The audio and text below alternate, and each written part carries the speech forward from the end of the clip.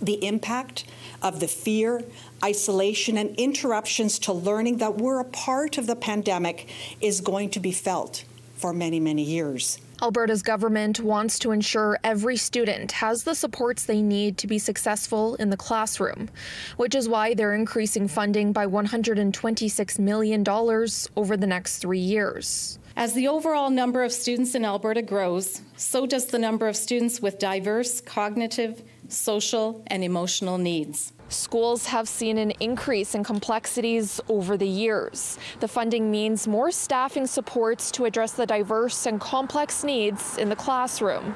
Education Minister Adriana LaGrange says the funding will allow schools to hire more teachers, educational assistants, or specialists such as counselors or psychologists to enhance the learning environment for both students and staff. However, Alberta's opposition NDP says this funding will not undo the harm done by the UCP and say, quote, Danielle Smith and the UCP have starved Alberta schools for four years, and students with complex needs have borne the brunt of this cruelty. The pandemic just exposed the weaknesses that we knew were in the system kind of already. A research study from the Alberta Teachers Association late last year found up to 85% of teachers have seen an increase in the complexity and diversity of students' needs within their classroom, including cognitive, social, and emotional needs, as well as behavioral challenges.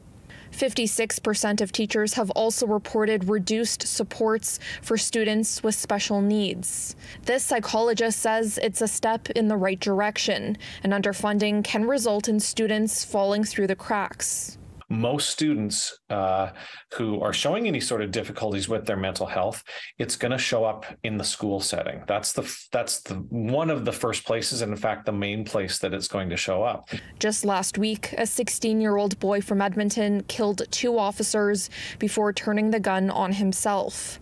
While police say he has no prior criminal record, officers have been called to the home before, including for a mental health complaint. Dr. Schwartz says it's important for schools schools to not only make mental health services available to students, but accessible as well. In Edmonton, Laura Krause, City News.